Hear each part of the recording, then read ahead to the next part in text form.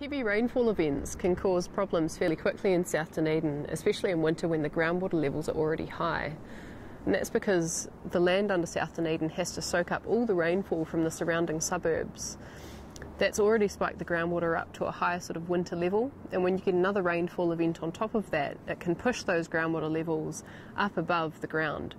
And that means that you have ponding occurring, which can take a long time to drain away, especially if the stormwater system is already overwhelmed with heavy rain events. Even though we've got the, the houses and the roads and a nice dry surface on South Dunedin today, um, underneath the surface there's still a porous, sandy environment.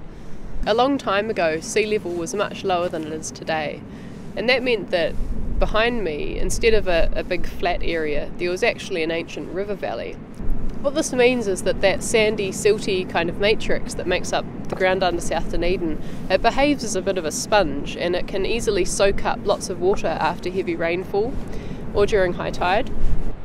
A lot of South Dunedin is so low lying. Um, a lot of it, in fact, is within the tidal range, which means that when the high tide is happening out at the coast here, a lot of the, the ground behind me is actually below the level of high tide.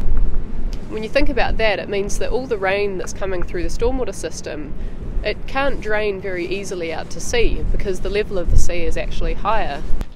The ORC is actively monitoring the level of groundwater around South Dunedin in four different bores. This graph shows the sea level rising and falling twice a day, and that's measured at Green Island. The other line is showing the groundwater at Kennedy Street, and the groundwater level is also rising and falling twice a day with the sea level. And what this means is that the sea is actually soaking in underneath the dunes and into the groundwater. So, what happens when there's enough rainfall is the groundwater level can rise to a point where it's at the surface of the ground. And this means that you get sort of permanent puddles appearing, and they take a long time to go away, especially in winter.